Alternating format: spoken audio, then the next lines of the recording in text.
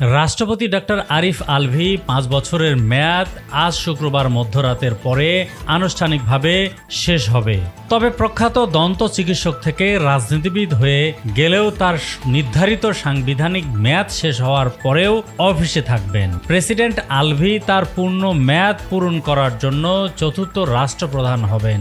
আগের তিন রাষ্ট্রপতি যারা তাদের পাঁচ বছর মেয়াদ পূরণ করেছিলেন, তারা হলেন পঞ্চম রাষ্ট্রপতি ফজলে এলাহি চৌধুরী উনিশশো থেকে উনিশশো আটাত্তর, এগারোতম রাষ্ট্রপতি আসিফ আলী জারদারি দু হাজার আট থেকে দু হাজার তেরো এবং বারোতম রাষ্ট্রপতি মামুন হোসেন দু হাজার তেরো থেকে দু হাজার আঠারো।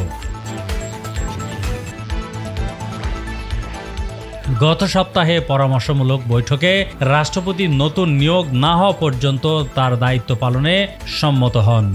সংবিধানের চুয়াল্লিশ অনুচ্ছেদে অবশ্য স্পষ্টভাবে ব্যাখ্যা করা হয়েছে যে জাতীয় ও প্রাদেশিক পরিষদের অনুপস্থিতিতে রাষ্ট্রপতিকে তার মেয়াদ পূরণ হওয়া সত্ত্বেও দরজা দেখানো যাবে না। যদি না তিনি স্বেচ্ছায় মর্যাদাপূর্ণ অফিস ছেড়ে যেতে চান বা নিজের ইচ্ছায় বাড়ি চলে যান।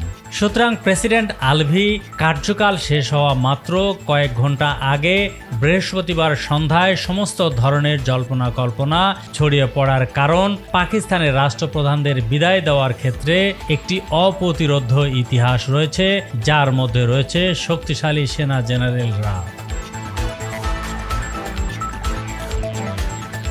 গবেষণায় দেখা যায়, আজ পর্যন্ত ১৩ জন পাকিস্তানি রাষ্ট্রপতির মধ্যে অন্তত সাতজনকে অনাকাঙ্ক্ষিতভাবে এবং আকস্মিকভাবে দায়িত্ব ত্যাগ করতে হয়েছিল।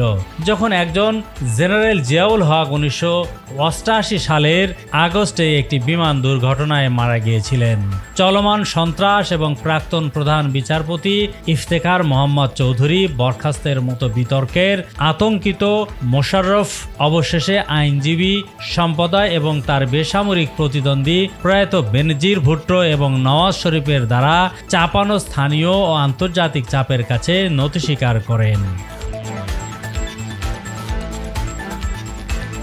যদিও বেনেজির রাষ্ট্রপতি থাকাকালীন তাকে হত্যা করা হয়েছিল, তার স্বামী আসিফ আলী জারদারি দু সালে নির্বাচনের ক্ষমতা গ্রহণের পর মোশাররফকে প্যাকিং পাঠানোর বিষয়ে অনড় ছিলেন।